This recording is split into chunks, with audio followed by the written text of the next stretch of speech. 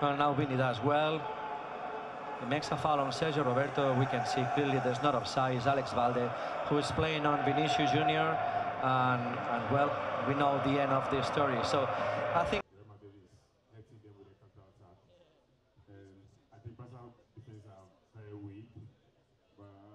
You know, they still have a 45 minutes to go, so we hope something good will come up.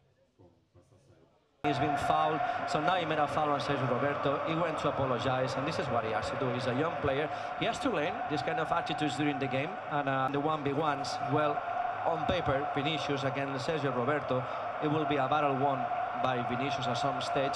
Valverde has his fifth goal for Real Madrid this season in all competitions.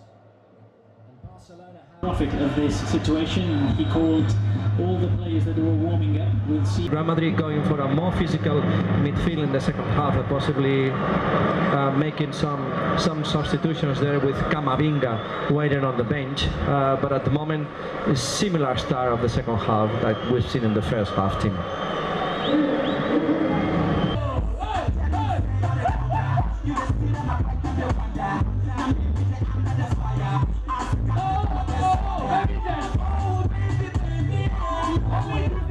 Thank you.